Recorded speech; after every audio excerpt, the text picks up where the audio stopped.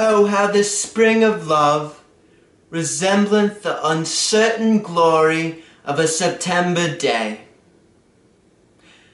The month of Maria McGlynn's birthday. I am calling upon Mia McGlynn, one of Lorraine's finest works. I am Professor Celeste Connor, and I am on speakerphone. I love Yeats and Shakespeare, but there's something sublime about my student and English major, Mia McGlynn.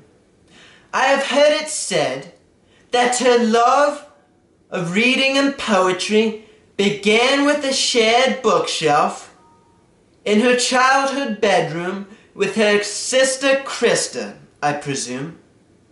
She enjoys Edgar Allan Poe once upon a midnight dreary, as I ponder weak and weary, I discovered Mia reading The Nun's Kitchen at Chestnut Hill one day, you see.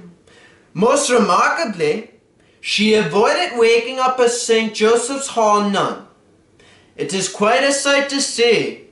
A PSSJ in pajamas, you know. A stealthy feet was also the case when she returned from the depot, Harper's Meadows, and yes, Smoky Joe's, you see. Oh yes, on occasion I would glance at the sign-out book at the front desk in Farney Hall and see Mia's named, followed by Romana, Debbie Haas, and Maureen Thompson. I had the delight an exquisite pleasure of sipping my Jamesons in their presence and McNally's on the hill. Quite a fond memory, you see. I would hear Miss McGlynn's name being paged through a hollowed horse and know that this talented young student of mine would be an inspiration at some of our finest Philadelphia institutions. The Philadelphia Orchestra, and Gwynedd Mercy College. Along this path, following her graduation from the Hill, her kind and loving heart would share her Philadelphia apartment with roommates Thomas and Krista.